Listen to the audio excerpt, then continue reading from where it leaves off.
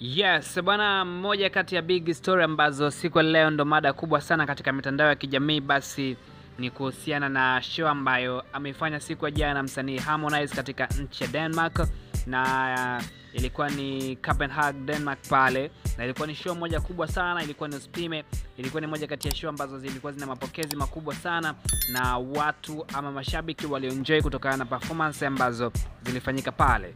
Sasa moja kati ya big story ni kuhusiana na Harmonize kusepa na mtoto wa kike, mtoto mmoja mzuri sana. Baada ya kumaliza performance zake, aliondoka na mtoto mmoja ambaye kanyooka sana, so akipolepole, so akinyonge, mtoto kaiva sana sana sana. Sasa najua unatamani kujua ilikuwaje ama ilikaa vipi mpaka ikawa kitu kama hiko hapo kikajikuta kime happen. Sasa sitaki kupoteza muda, ila nikukumbushe tu kwa wewe ambaye ni mara ya kwanza unasikia sauti hii hapa ama ni mara ya kwanza unatazama channel hii hapa nikukumbushe tu kusubscribe kwa kubonyeza red button ambayo iko chini ya video yako, lakini baada ya kufanya hivyo usiache on all notification ili uweze kuwa wa kwanza kujipatia kila video zetu ambazo kila siku, kila wakati, kila muda tunashare na wewe ndani ya Daza Media. Yeah, fanya hivyo, fanya hivyo, hakikisha umesubscribe then umeturn on all notification, utakuwa unakuwa wa kwanza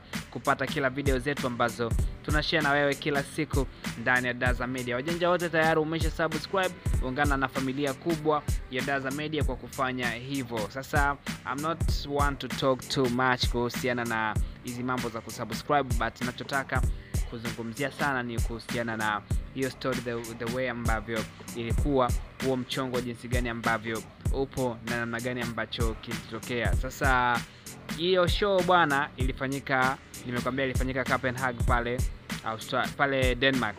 Sasa tumeona kulikuwa kuna watu wengi, nimeona pia alikuwepo alikuwepo Palipupa, Ipupa, walikuwepo wasanii wengi sana kutokea Afrika ambao walihudhuria wali pale na kuperform. Ilikuwa ni unyama sana, ilikuwa ni kitu kikubwa sana ambacho tunaweza tukasema kwamba ni kitu cha kihistoria, na nimependa the way ambavyo performances zimekuwa, nimependa the way ambavyo ulinzi ulizingatiwa. Ukiangalia katika video ambayo nimeposti last post hapo, nimekuwekea kuanzia mwanzo mpaka mwisho ya ambavyo show ambavyo imekuwa since Harmonize anaingia katika stage, lakini since anachukua mic, since anaanza kuperform, lakini mpaka anavotoka katika stage, mpaka akiwa nje ya ukumbi kabisa, ni kitu gani ambacho kilikuwa kinafanyika. Kwa hiyo ukiangalia the way ulinzi ambavyo upo, ulinzi ni ulinzi makini sana, ulinzi ambao hautaki mtu akusogelea hata sentimita tatu, yani wapo makini sana mba bodyguard wa huko, nimewakubali ni mabodyguard ambao wapo serious na kazi zao na wanajua kitu gani ambacho wanakifanya. Sasa ukiangalia kuna video ambayo nimekuwekea mbele ya mbele hapo kidogo, utakutana nayo ni the way ambavyo kuna bidada mmoja ambavyo alikuwa amemfuata Harmonize kama anataka kumhag, lakini wakati anataka kumhag kama bodyguard akamzuia hivi, akamwambia boy, kaa kando kwanza. Alafu kuna mtoto mmoja akatokea, sio mtoto, ni kama ni msichana, mwanamke tu ambaye wa makamo fulani hivi, lakini amejaliwa sana. So unajua Harmonize ugonjwa wake nini? E, Harmonize ugonjwa wake siku zote ni shepo. Kaja mtoto, angalia hiyo video hapo kwa umakini, kwamba kuna binti hapo alikuwa anakuja kwa ajili ya kumkumbatia Harmonize. Angalia vizuri kwa umakini, utaona cheki, huyu hapo anatokea, hey, akazuiliwa then ikawekwa kando kidogo, bwana wewe punguza shobo. Sasa baada ya kuwekwa kando, angalia kuna kazi inatokea hapo nyuma, ni wa kawaida sana, ni kama mtu mzima fulani hivi, lakini kajaa. Angalia shepu hiyo. Harmonize ugonjwa wake ni shepu siku zote. Angalia shepu jinsi ambavyo imenyooka. Baada ya hapo akachukua namba, then baadaye unaambiwa wambea ambao wapo huko wametupa ripoti kwamba baadaye kwamba ulikuwa ni msosi wa usiku, kwa sababu Harmonize ndo ugonjwa wake bwana. Harmonize ndo kitu ambacho anapenda, na kwa mara ya kwanza zile siku thelathini ambazo alisema atakaa bila kukutana na mwanamke hatimaye zimefeli. Ameshindwa baada ya kukutana na kazi kutoka Denmark. Kazi kama hivyo imenyooka, imesimama, shughuli ipo ya kutosha, vitu vimejaa, vitu vya studio vinaonekana na frequencies zinasoma vizuri kabisa. Kwa hiyo ilikuwa ni usipime, ilikuwa ni noma, ilikuwa ni balaa sana. Mtoto kama hivyo ulivyomwona, Harmonize akaamua kuruka naye. Hujue nikikupa historia ya Harmonize kwa kifupi, ni mjamaa mmoja ambaye starehe yake kubwa ni mapenzi, yaani ukiachana na mziki na mitungi na vitu vingine ambavyo huwa anafanya, lakini ukimchunguza Harmonize kwa umakini kabisa, kwa jicho la tatu, unakuja kugundua kwamba huyu jamaa starehe yake kubwa ni mapenzi na kitu ambacho anakipenda sana ni mapenzi. Angalia kwanza, waka, kwanza wakati anaanza mziki, mwanamke wa kwanza kutoka naye alikuwa ni Wolper kama unakumbukumbu vizuri, mwanamke wa kwanza ambaye alimtambulisha kwake alikuwaga ni Wolper, na ukimwangalia Wolper ni mwanamke mzuri ambaye ni mashallah, ana shepu, lakini pia ni baby face, ni mkali. Lakini sasa baada ya Wolper akaenda akaenda akaenda akaja akawa na alikuja alikuwa ni nani baada ya Wolper? Alikuja alikuwa ni Sara eh? Yeah, I think alikuwa ni Sara. Yeah, alikuwa Sara akaenda na Sara. Sara pia ni mwanamke wa kizungu wa Kiitaliano, lakini ana shepu fulani hivi matata, shepu ambayo imejaa, shepu ambayo imenyooka. Lakini baada ya Sara tukamwona akaja kuwa na Kajala. Kajala pia ni mmoja kati ya wanawake ambao wana shepu fulani matata, wamejaa, wamenyooka, wapo vizuri haswa haswa. Uh, kama unafuatiliaga clip zake akiwa yupo gym, basi utakuwa uwezi kubishana na mimi kwa asilimia zozote zile. Sasa baada ya Kajala tukaona akaja kuwa na mahusiano tena na Briana. Briana kila mtu anamjua bwana. Briana kanyoka, kaiva, yupo vizuri kabisa kabisa, yani ni moja kati ya wanawake ambao wazuri naweza nikasema. Lakini baada ya Briana anahisi akamisi utamu wa Kajala, akarudi tena kwa Kajala, alafu akaja kutupiga na kitu kizito sana eh?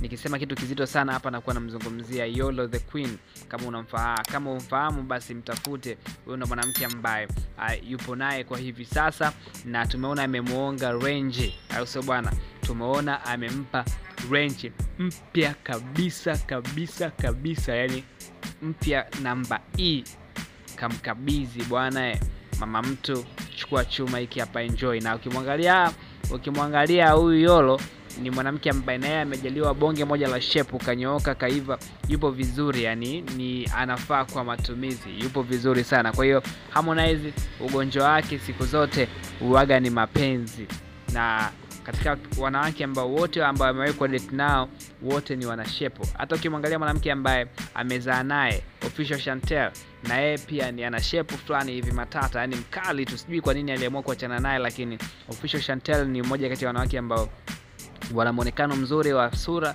lakini pia hata shepu, pia mwonekano wa shepu ni mzuri pia. Ndio maana unaona hata Zulea Konde na yeye amekuwa ni mtoto mzuri. Unajua Zulea ni kazuri fulani, kana baby face fulani hivi kazuri, yani katoto kadogo, lakini uzuri wake umeanza kuonekana mapema kabisa. Kwa hiyo vitu kama hivyo hapo ndo vilivyotokea siku ya jana pale Denmark, na huyo ndo mtoto wa kike ambao Harmonize aliruka naye na kuchomoka naye na kuingia naye magetoni baada ya kumaliza performance. Mpaka this time around bado yupo huko, mpaka mda huu bado yupo huko na bado kuna ratiba zingine zinaendelea, lakini kila kitu ambacho kitakuwa kinajili ama kila kitu ambacho kitakuwa kinajitokeza, basi hatutasita kukushirikisha, hatutasita kushia na wewe hapa ndani ya Daza Media. Hakikisha tu umesubscribe then ume turn on all notification na utakuwa unakuwa wa kwanza kujipatia information zote ambazo zinatokea na tunaziweka hapa ndani ya Daza Media. Fahamu ya kwamba Daza Media ndio sehemu pekee ambayo unapata habari za uhakika na zenye kuaminika kwa asilimia mia moja. Make sure umesubscribe then ume turn on all notification. This is a big family na mimi naitwa Rock 250 the real king of 99 ndo mtu ambaye nahakikisha unapata information zote kwa wakati na kwa muda sahihi. Mimi ndo mtu pekee ambaye nahakikisha unazipata kwa wakati na kwa muda sahihi. Make sure umesubscribe, umeturn on all notification. Ukisubscribe tu kila video ambayo tunakuwa tunaiweka hapa, basi wewe ndo unakuwa wa kwanza kabisa kuitazama kabla ya mtu yoyote. Ukisubscribe then ukaturn on all notification, yani kabla mtu yoyote haijamfikia, basi wewe ndio unakuwa wa kwanza kuitazama. Make sure umefanya hivyo, make sure umetisha kinoma noma. Mimi naitwa Rock 250 the real king of 99. Kwa heri kwa sasa, tukutane katika update ijayo.